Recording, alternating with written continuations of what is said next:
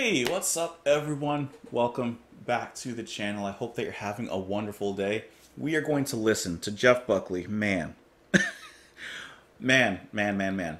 It's been such a long time since we've listened to Jeff Buckley. I know it probably looked like I've abandoned the album. I've listen, Grace. God, that's a good song. like, man, that one's been on my playlist, and I sing it all the time in the car when I'm driving to work, from work, anywhere but work. I am singing it, and that last part always makes my throat hurt a lot. But listen, I sing it and I hit the notes as best as I can. Um, and I've always had him in the back of my mind to come back to, but I just never have gotten back to him. But every once in a while, I see comments remind me, hey, don't forget Jeff Buckley. Hey, go back to Grace. And to Grace, we are. So let's move on to the next track here on his album, which is Last Goodbye. And for this album, I promise this will not be the last goodbye, the last listen to it. Um, Jeff Buckley, I'm excited to listen to more. I I'm like I said, I've listened to Grace over and over and over again. On the channel, I listen to like song, song, song, song, song, right? When I actually listen to something for the first time in like my private time, I'll listen to the album, but I stick with the same album, the same songs, and I just listen to them repeatedly, repeatedly, repeatedly. Like if it's my first time listening to a band, I'm talking on my own, not on the channel, right? Take the channel out of it. If it's my first time discovering a band, an album, or whatever, I listen to this album from a band or an artist, and let's just say I love it. I fall in love with this album. Let's just say the band or the artist has 10 other albums. I won't listen to another album from them until I've listened to that album like honestly at least at least 6 times. Because it's it's so amazing when you discover new music and you fall in love with it. You just want to stick with it. You just want to hear more of it. Like yeah, you'll eventually listen to more from the band or artist, but like you want to stick with it. So um I don't know how I got onto that topic, but let's go ahead and listen to a little Jeff Buckley with Last Goodbye.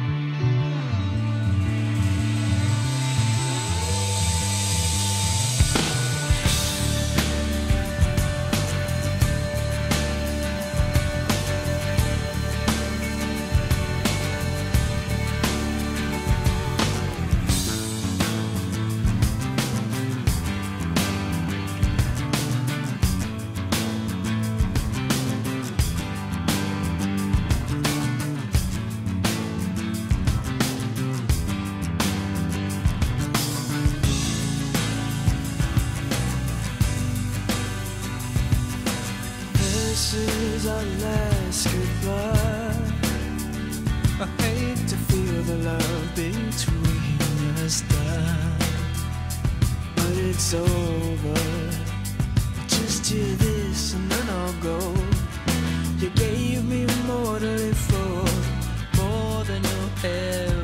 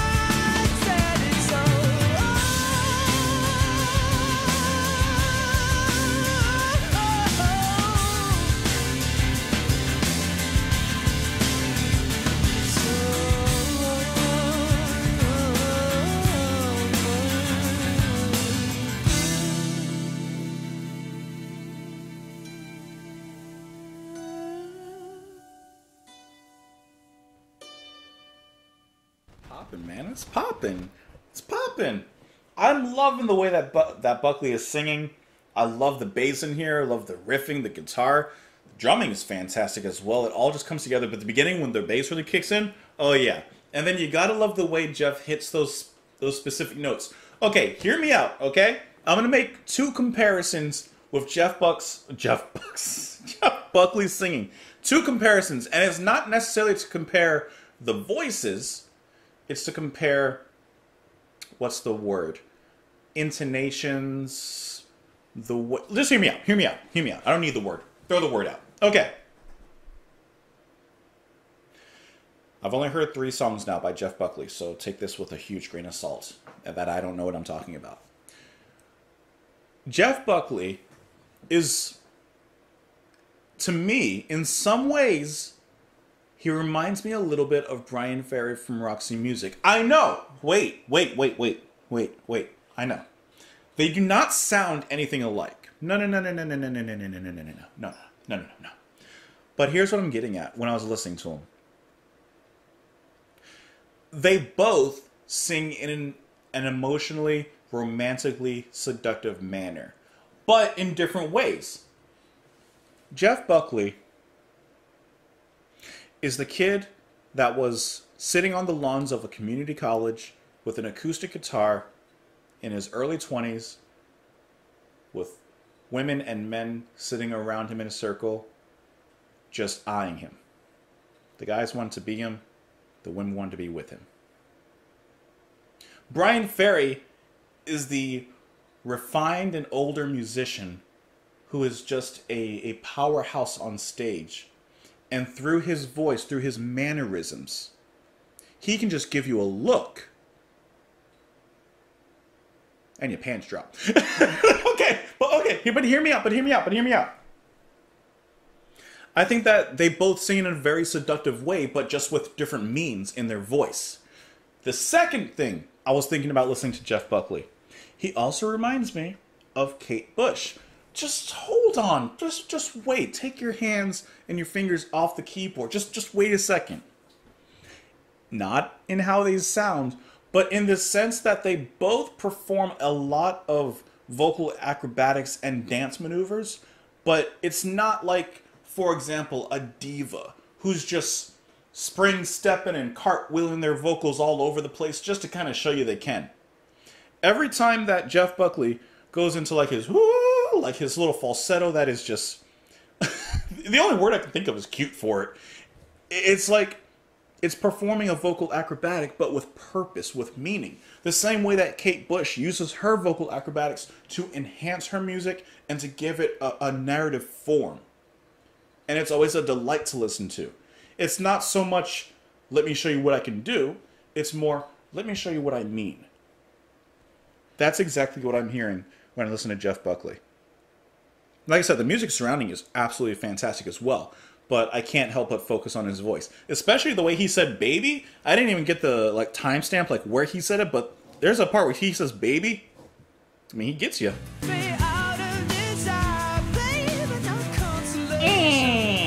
Your panties dropped. okay, okay, okay, okay. All right. But I love the way he sings, though. I love the way he sings. This is our last goodbye. I hate to feel the love between us die, but it's over. Just hear this and then I'll go. You gave me more to live for, more than you'll ever know. He's acknowledging, hey, this is the end of the relationship, but I do want to let you know all that you meant to me. I do want to let you know that this wasn't a waste of time, for myself at least, because you had a lot of meaning and you gave me a reason to live. This is our last embrace. Must I dream and always see your face? Why can't we overcome this wall, baby? Maybe it's just because I don't know you at all. Maybe he doesn't know her, or at least he feels like he doesn't know her. So throughout their relationship, they may have gotten close, but not personally. Or something was missing. There was a miscommunication. Kiss me. Please kiss me. Kiss me out of desire, baby, not consolation. I love that line. Kiss me because you want to, not because you think it'll make me feel better. Don't pity kiss me. Pleasure kiss me. I'll only make you cry. This is our last goodbye. Did you say, no, this can't happen to me? Did you rush to the phone to call? Was there a voice unkind in the back of your mind saying maybe you didn't know him, know him at all? You didn't know? Well, the church bells, uh, or I'm sorry, the bells in the church tower chime, burning clues into this heart of mine, thinking so hard on her soft eyes, and the memories offer signs that it's over. It's over. You can you can look into each other's eyes and you just know this ain't going nowhere. It's time to say our last goodbye. Anyways, let me know what you guys thought of the video. Let me know what you guys thought of the music. Uh, hope that you enjoyed it. I know, I know my comparisons were out there. It's just, I don't know. It's just, it just tickled my brain, and when I tick, when I'm tickled, I have to laugh. Anyways, I don't even know what that means. If you want, you can follow me on Twitter. You can support the channel on Patreon. I hope that you had a good time here. Hope you come back tomorrow. Thank you again, and thank you as always. And I'll see you later, guys. Bye.